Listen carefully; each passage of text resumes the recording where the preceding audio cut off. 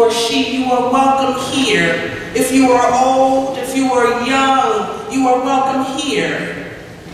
If you're an old soul in a young body, you're welcome here. If you need a community to embrace your children, you're welcome here. If you need to be forgiven, if you need to forgive someone else, welcome.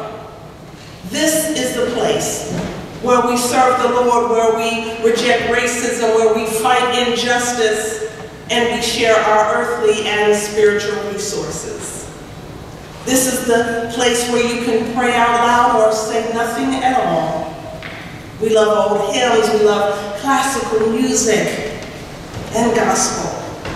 We embrace diversity and we love God. Today especially, your presence here is a statement of your belief, of your courage, of your resistance to say, in light of this uncaring world, in a time when people of faith are under attack, we are here in God's house worshiping anyway. Amen. Amen. So let us praise God and let us begin with worship. Good morning. Good morning. Um, so my poem's untitled. Um, I just didn't really know what to call it. So. Here's an original piece by Megan. Knowledge lies limp and blind inside the minds of our youth. Instead, they're injected with colored numbers like heroin into the veins of our homeless graduates. Their minds are contorted and stretched until they beg for the sweet release of a sleepless night. They never said it would be easy. We've learned to become too concerned about things that don't teach us. We've forgotten knowledge, who will remain blind, who will remain blind until it is touched. Thank you. This is Jeremiah 31, verses 7 through 9. For thus says the Lord, Sing aloud with gladness for Jacob, and raise shouts for the chief of the nations. Proclaim, give praise, and say, Save, O Lord, your people, the remnant of Israel. See, I am going to bring them from the land of the north, and gather them from the farthest parts of the earth. Among them the blind and the lame, those with child and those in labor together. A great company they shall return here. With weeping they shall come, and with consolations I will lead them back.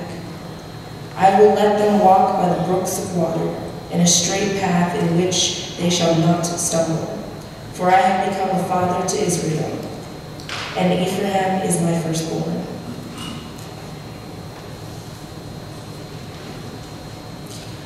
A word of God for the people of God. Thanks be to God.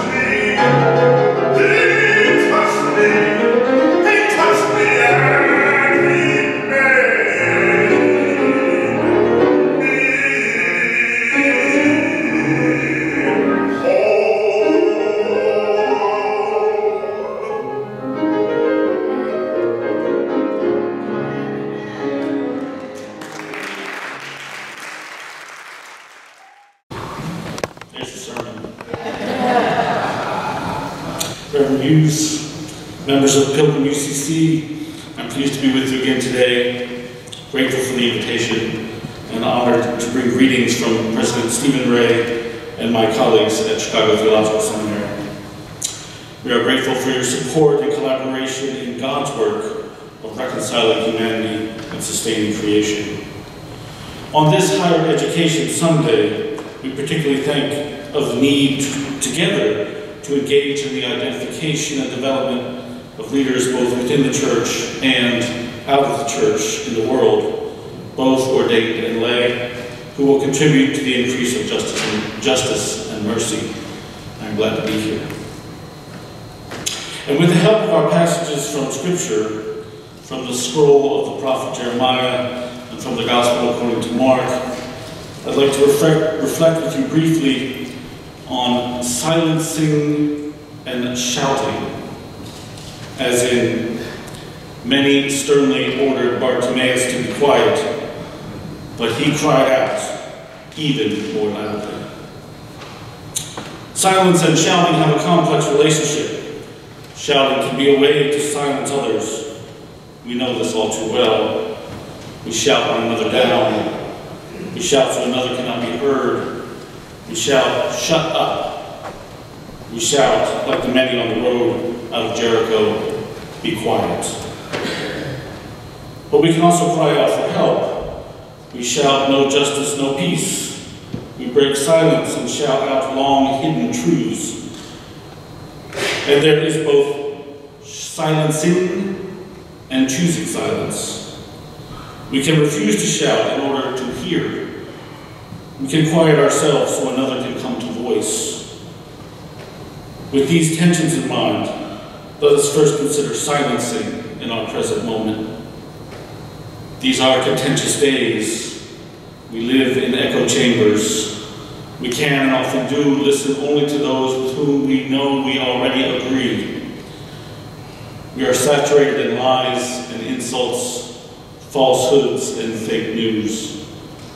And there are powerful people who do not want to hear, who know that their precarious privilege may be threatened if protest is aired, if injustice is named and confronted. The forces that silence are vindictive.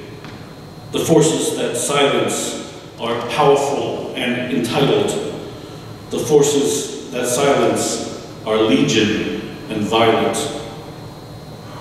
Recall Colin Kaepernick unable to respond to acts of brutality against black bodies by those sworn to serve and protect, unable not to respond to acts of brutality against black bodies by those who are sworn to serve and protect.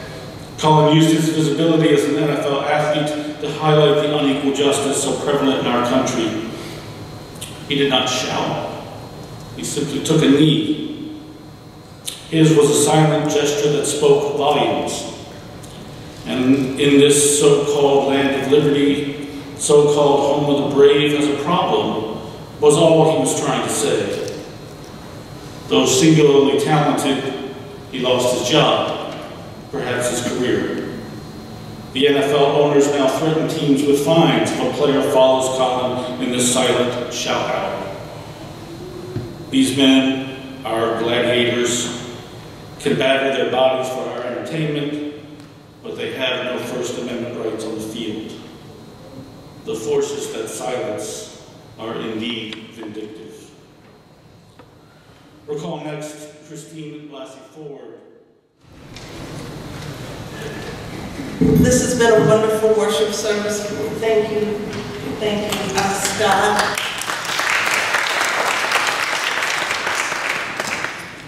And thank you, thank you all so much. The music was magnificent. Last night was a blessing, and thank you for blessing our worship today. So people of God, as you go about your week, know when to be silent so that you may hear the voice of God speaking to you. Know when to raise your voice, especially to cry out for others. May you love God so much that you love nothing else too much. And may you fear God enough that you need fear nothing at all. May the peace of God surround you, the love of God dwell in you, and the justice of God compel you. Go in peace, have some coffee, and if you're not a member, meet me on Wednesday the 7th. Amen. Thank